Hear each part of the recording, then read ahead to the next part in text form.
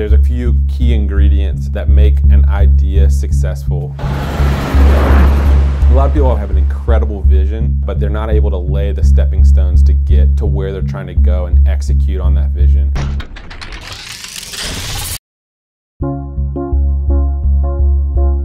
CrateBind was started kind of unintentionally. We set out to build products ourselves and then kind of fell backwards into building stuff for other people. Other companies came to us asking us to build them solutions, but we had a skill set that could add value to their company. So through our business understanding of their company and then the, the technical know-how, we were able to create solutions for companies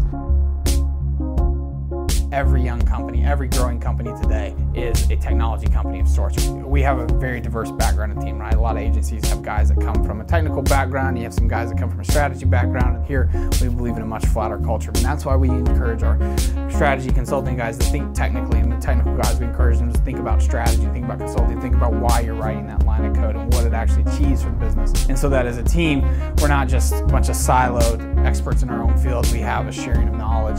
So why you choose us over the 500 guy consulting firm is because we were able to see at the high level where the strategy needed to go, where we wanted to be, what position place we wanted to hold the market. And because we had the technical expertise, we were able to build the roadmap to get us there, and we are well on our way to that.